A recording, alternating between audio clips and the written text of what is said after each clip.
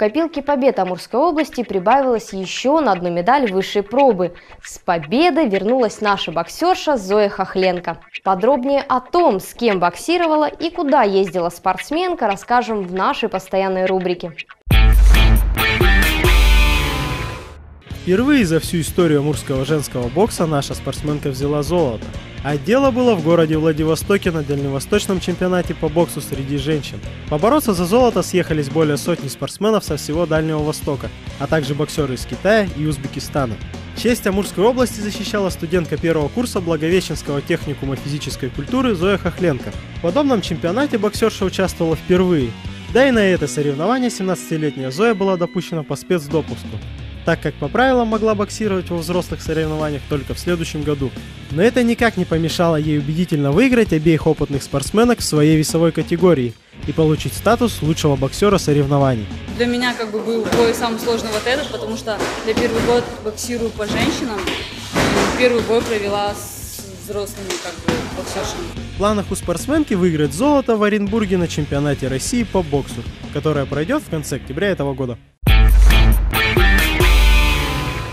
64 клетки, 32 шахматные фигуры. Казалось бы, все просто в шахматах.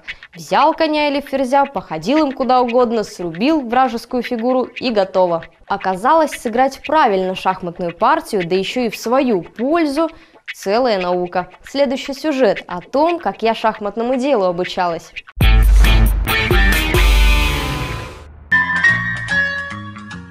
На третьем ходу выяснилось, что гроссмейстер играет 18 испанских партий. В остальных семи черные применили, хотя и устаревшую, но довольно верную защиту Филидора. Если бы Остап узнал, что играет такие мудреные партии, он крайне бы удивился. Дело в том, что великий комбинатор играл в шахматы второй раз в жизни. Бывает мат, бывает шах. Это все, что я знала про шахматы до сегодняшнего дня. Но я решила исправить это недоразумение и прийти в шахматный клуб.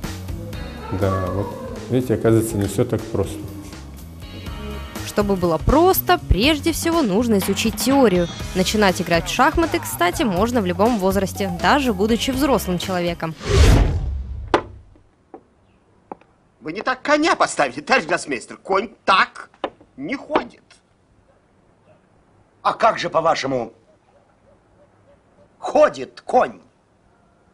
Вот так.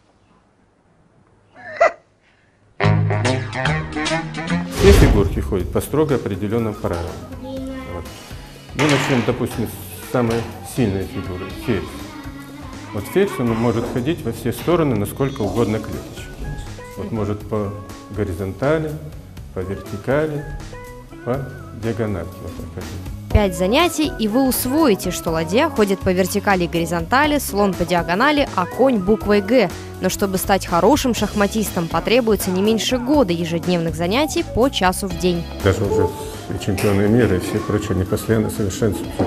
Хоть он и чемпион мира, но вот так, если почитаешь, послушаешь, что они говорят, они ежедневно 4-5 часов уделяют шахматам.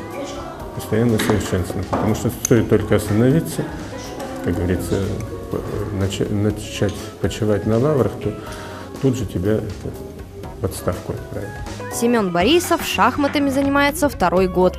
Настольной игрой подрастающего гроссмейстера увлек отец, подарил шахматный набор и сыграл с ним первую партию. Ну, мне понравилось по поиграть с папой. И вот захотел с другими сыграть, как бы, чтобы развиваться. Мне нравится очень там защищать фигуры свои, узнавать какие-то новые партии. Серьезные турниры Семен пока что не выигрывал, но знанием шахматного дела восьмилетний школьник меня удивил. Первый ход бывает, что на, е, на Е5, а, а вот, например, противник сюда и, фер, и ферзем напротив вот сюда ходишь, и потом он может не заметить, что конем можно походить вот как-нибудь, а, и может просто вот тут ферзь, ферзю сделать угрозу. А так раз и шах. Игра в шахматы не сделает из вас спортсмена с рельефными мышцами, зато поможет развить память, внимание, мышление и интеллект, что, кстати, в жизни очень даже пригодится. Многие родители приводят сюда детей, потом э, говорят, что вот у меня он стал лучше в школе учиться. Но не значит, что там он с двоек на одни пятерки так учился. Но, в принципе, успеваемость в школе у многих повышается. Кроме того, занятия по шахматам помогут стать целеустремленнее, рассудительнее и сдержаннее. А это значит, что вам и вашему ребенку станет намного легче контролировать свои эмоции. Мне нравится, ну, что это развивает логический ум. И, ну, так просто интересно, как бы выигрывать там. Проигрывать тоже интересно. По длительности партии шахматы делятся на классические, где игра продолжается полтора-два часа, быстрые шахматы до 25 минут – Блиц 3-5 минут на каждого участника и пуля, где у каждого игрока есть всего лишь одна минута. Если в таких классических шахматах можно посидеть, подумать, что принять решение, то здесь э, вот Блиц, там, конечно, на первую очередь выступает вот колоссальный объем знаний, чтобы уметь это воспроизвести, ну и быстрая реакция. Время партии контролируется специальными шахматными часами. Игрок делает ход и останавливает свое время, запуская время соперника – причем кнопку игровых часов следует нажимать той же рукой, которой делается ход. Таковы правила. Как только время кончается, то все. Даже не э, поставила я мат, там не поставил, считается, что у вас время закончилось, вы партию проиграли. Ну, это не удивительно. Да, удивительно было, если бы вы Гром среди ясного неба раздался через пять минут. Вам мат, товарищ гроссмейстер. Остап проанализировал положение, позорно назвал Ферзя королевой и высокопарно поздравил победителя.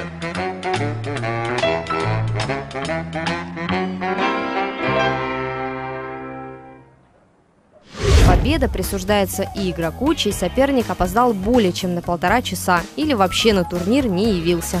То есть в 10 часов начала тура, ты в 10 часов, будь любезен, будь на игровой площадке. Такие вот суровые правила в шахматном мире. Но попробовать этот спорт все же стоит. Ведь даже несмотря на мнимое спокойствие и размеренность этой игры, она безумно азартна.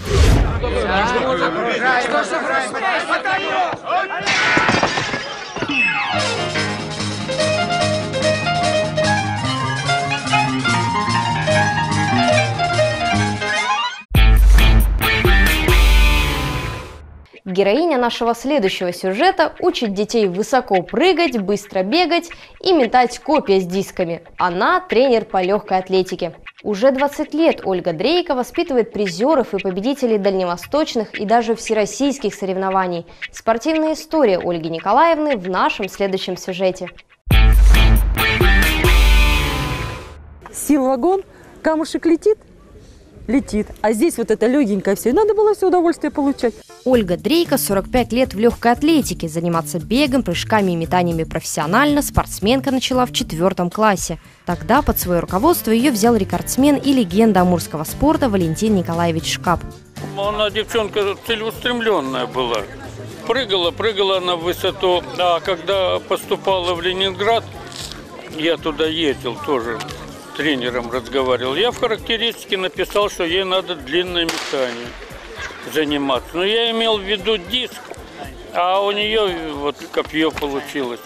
В 80-м году Ольга Дрейка полностью перешла на метание копья. Спустя два года выполнила норматив мастера спорта международного класса.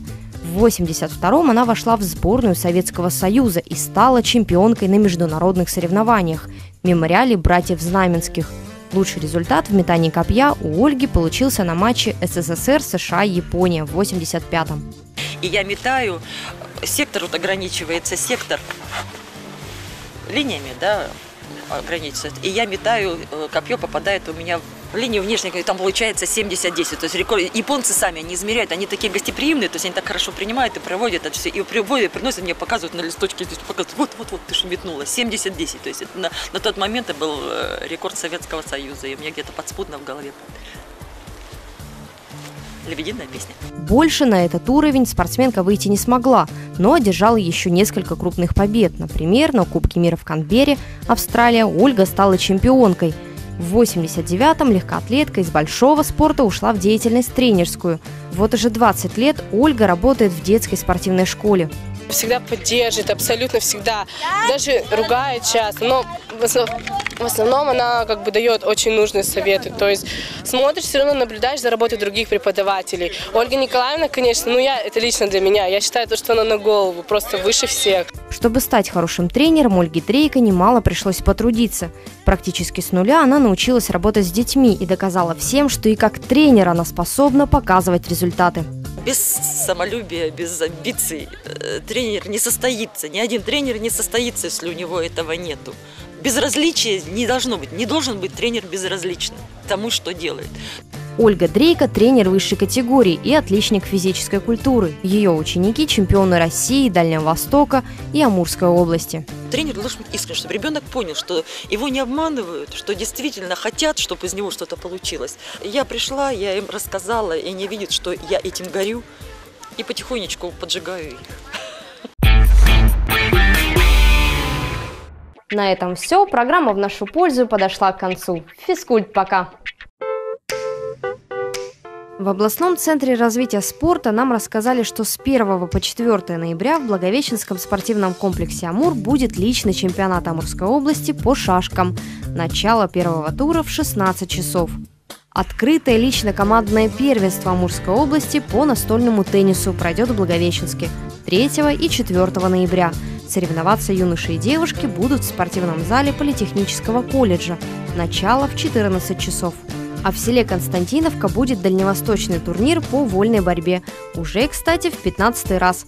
Бороться спортсмены будут в районном доме культуры. Начало поединков в 10 часов. 10 и 11 ноября в Благовещенске пройдет чемпионат и первенство Амурской области по самбо. Поболеть можно будет в спорткомплексе «Юность». Схватки будут жаркие, ведь здесь пройдет отбор сильнейших спортсменов в состав сборной команды области для участия в дальневосточном чемпионате и первенстве. Начало в 10 часов. С 3 по 7 ноября в спорткомплексе города Зеи пройдет открытое первенство Амурской области по гандболу. Начало игр в 14 часов.